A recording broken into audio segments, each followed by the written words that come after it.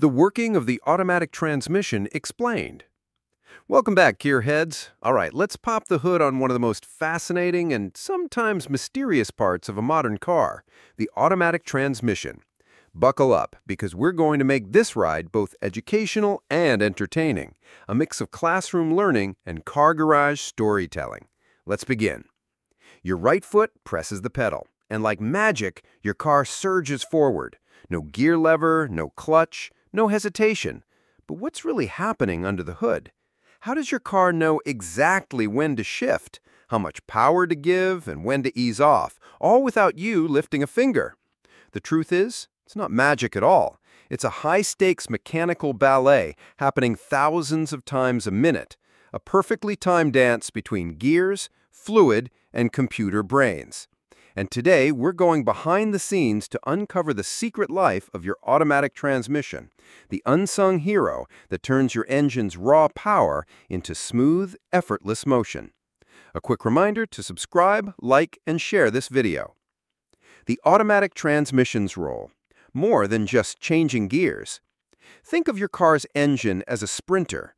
It can run fast, but it's not great at pacing itself for different situations, like crawling through traffic or cruising at 120 kilometers per hour. That's where the transmission steps in. It acts like your personal gear coach, matching the engine's speed and torque to what the wheels need, all without you lifting a finger. With a manual transmission, you'd do this yourself, juggling a clutch and gear lever. But with an automatic, the system handles all the gear shifting seamlessly, so you can focus on the road or your coffee. The heart of the system, torque converter. Before we even talk about gears, we need to meet the torque converter. This is the automatic transmission's equivalent of the clutch in a manual. How it works? Imagine two fans facing each other inside a sealed casing filled with transmission fluid. One fan, the impeller, is connected to the engine. The other fan, the turbine, is connected to the transmission. When the engine spins the impeller, fluid is flung toward the turbine, making it spin. Voila! Power transfer without a direct mechanical connection. If you're liking the video so far, kindly subscribe, like, and share the video. Why it's clever? This fluid coupling allows the car to stop at traffic lights without stalling, and it multiplies torque when you need an extra punch, like overtaking or climbing a hill. Inside the gearbox, planetary gear sets. Here's where the real magic happens. Instead of separate gears like in a manual, an automatic uses planetary gear sets, compact little gear systems that can give you multiple gear ratios without taking up much space. Picture this, sun gear in the middle, planet gears orbiting the sun, ring gear surrounding them. By locking or unlocking different parts of this setup, you can create different gear ratios. Low gears for more torque, like starting from a stop, higher gears for efficient cruising. The result? Smooth shifts and a wide range of speeds, all from one compact system.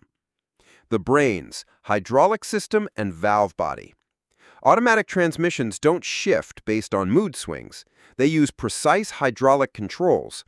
Transmission fluid isn't just a lubricant, it's the lifeblood of the system, transmitting hydraulic pressure. The valve body is like an intricate maze of passages and spring-loaded valves. Sensors detect things like throttle position, vehicle speed, and engine load, then direct fluid to engage the right clutch pack or brake band for the desired gear. Old-school automatics used purely mechanical hydraulic logic.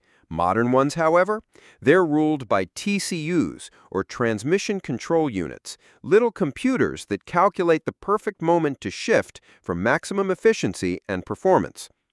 Shift without you noticing. Clutch packs and brake bands.